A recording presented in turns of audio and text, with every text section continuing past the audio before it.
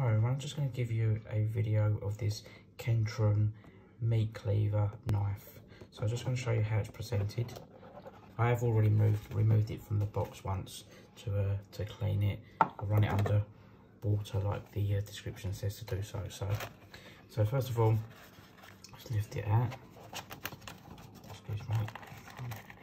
Lift it out, careful. Right, so if I hold it like this, but first of all, first things I noticed is it's it's got a nice weight to it. It feels very well balanced when you're holding it.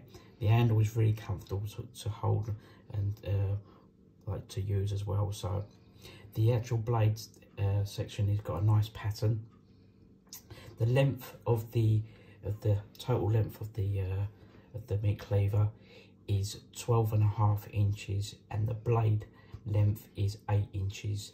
From here to the bottom is three and a half inches deep. But um, as I say, let's turn it around.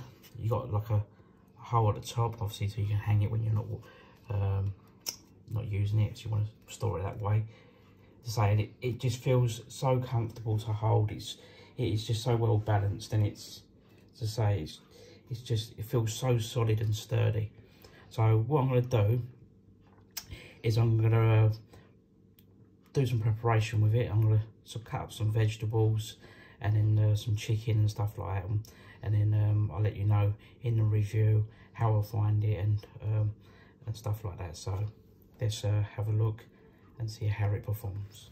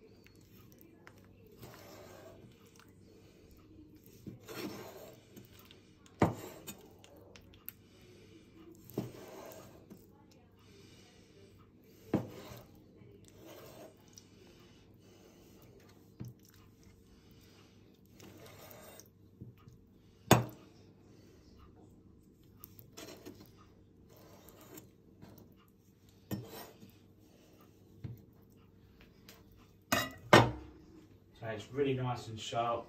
It's nice to work with and um, I'm really happy with it. So I hope you found it's helpful.